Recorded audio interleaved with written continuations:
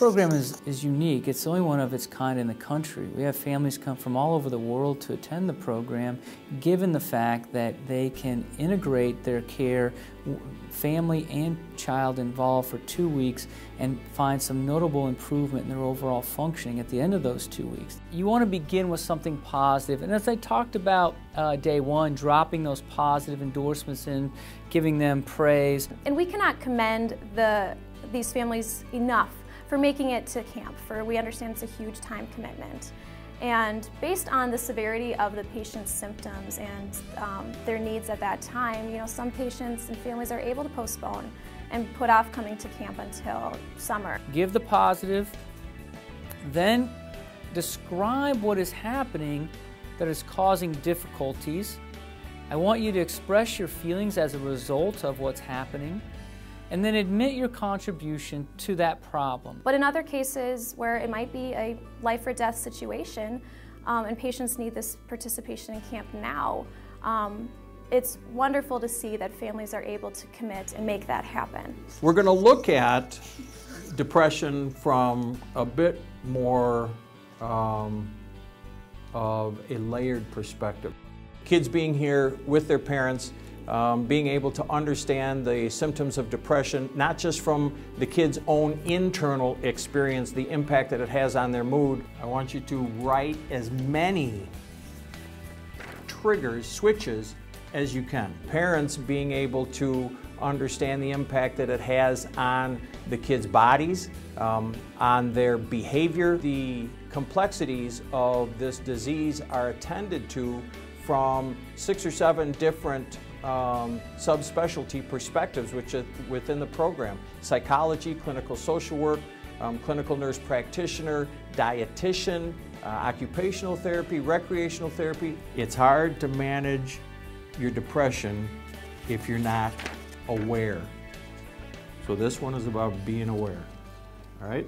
All looking at the dynamics of the symptoms of depression and the impact on the patient and their family from those perspectives. And it helps the kids and the families to know just how complex a disease this is. Recreation therapy as part of the CAIMP program provides opportunities uh, in the areas of team building, socialization, creativity, leisure skills, and leisure education as a way for teens and parents to learn about using leisure to promote wellness. Throughout the two weeks, teens participate in a variety of activities that help them to increase their self-esteem and self-confidence. Learn about using creativity to express emotions, to make connections with each other to socialize in a positive, healthy environment. The families play a part in, in the recreation therapy program as well. Families get to come up to recreation therapy once a week and participate in a leisure activity with their family and as part of the group. And then they can take that outside of camp as well and learning about how to use leisure outside of camp as a way to get a break from some of the intensity and some of the overwhelming things that they're dealing with and as a way to just reconnect with each other in a more positive way. When we're feeling a lot of stress or feeling overwhelmed, we tend to focus a lot on problems and we can pay a lot of attention to the things that are going wrong in our life. So first of all, I just want you to pick up your grapes. Through mindfulness, we can learn to step back from um, those that cycle of thoughts and emotions and to stay calm and to stay present and to appreciate what's happening in our life at this moment. And that can really help us to stay calmer and to problem solve more effectively and also to just enjoy our life more. Kind of maybe look them over, notice what you can notice. A regular mindfulness practice also seems to um, lead us to be more compassionate both towards ourselves and toward other people. And for families who are dealing with mood disorders and depression and trying to support one another, that can really be helpful. If we pay attention on purpose to the things that we can be grateful for, then that improves our quality of life. This is a team approach. You're not on an island, I'm not on an island. We're going to do this together. Don't feel alone in this. Teens, you fill in five coping resources you can utilize to improve your mood and keep you safe and write out people you could reach out to and talk to during those times to keep you safe. Parents, you'll fill in five potential coping strategies or resources you think your child could use. Once you've agreed on these five coping strategies on each page, write them on one side of the card and then write the call list on the other side of the card. If you are struggling with a thought of hurting yourself, um, to the point that you're contemplating engaging in that behavior, you need to reach out to an adult who will know how emotionally and in a mature way to help you and respond in a way to help keep you safe. Put these in a place like a wallet, a purse, somewhere where they're always accessible. Um, and write this information on here. And again, write it on all three of the cards so there's at least three family members who have this same information. So I don't ever want you to think that this is miserable nutrition from the diet police. This is just healthy eating. A little less junk. How do you guys do with fruits and vegetables? I think they do overlook the importance, you know, and again, if you aren't suffering from any sort of illness and you do have a pretty poor diet, you might be okay and you might think that you're fine. Something that I would focus on then is what does the rest of your life look like? If you continue to eat unhealthfully, again, not perfect, but most unhealthfully, is something going to develop later on. We can talk about risk of cancer, we can talk about risk of heart disease, um, we can talk about probably any system in your body, and I promise you it relates back to basic healthy nutrition. It really comes down to balance and kind of how you feel best. Can I go from breakfast to lunch without having a snack? How do I feel? Am I hungry? Am I mad? Am I miserable? And if you want a snack, have a snack. And does that snack help you get to lunch? Maybe make healthier choices at lunch? It's about communicating that message to you that I care about you, but also telling myself, hey, I'm not the only person that matters here. There are other people that are involved and I need to make sure I'm respecting them as well. So what we're doing is we're role-playing scenarios where one person has to just read the card. It's a kind of a conflictual conversation. In a way, it is like a graduate course in parenting. Parents are often surprised by the amount of content that is directed towards them and their skills as a parent.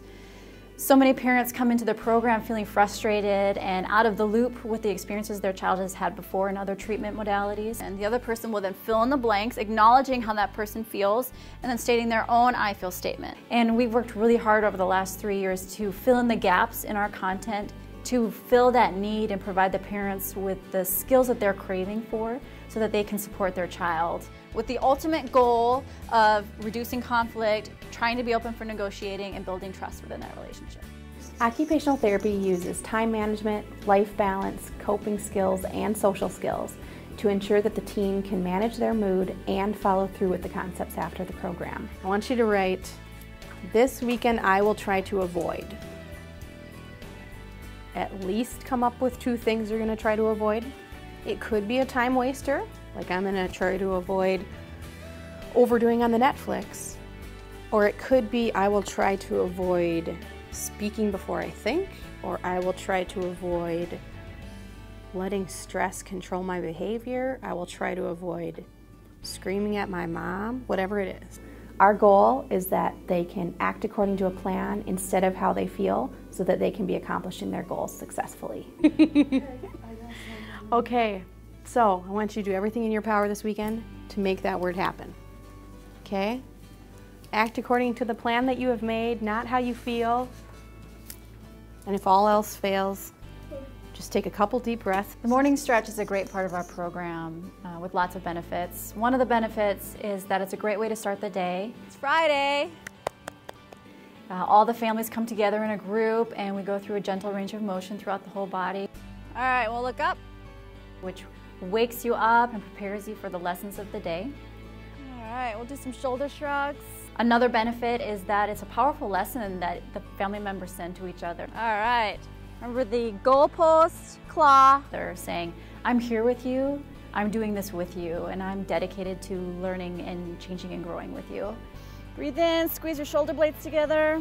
The last benefit of stretch is that it's a hands-on approach for the behavioral activation theme of our program. Let's do our side stretch. You're gonna reach, reach, reach up.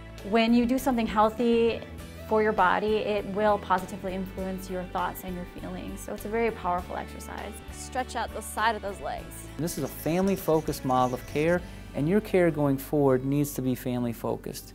You need to commit to each other. And this certificate is just another reminder of all the hard work you did. Now that's not the end of the story. That's really just the start of it.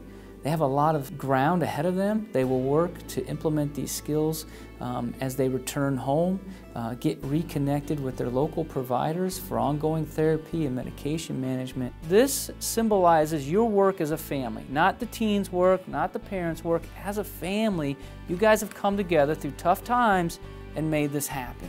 What we understand about this program is it helps the teens and children and their families be better prepared to manage the illness and recognize ways to, to keep ongoing care uh, available for them in a successful way. Nice work.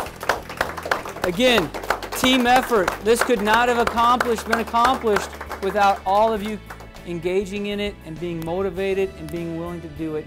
Now just get out of bed every day and keep doing this stuff.